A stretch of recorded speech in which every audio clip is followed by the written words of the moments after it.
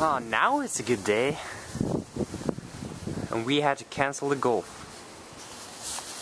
Hmm. Oh well. Hopefully, next Saturday is will be a go a good a good day. So let's hope that. Right there. There. Hello.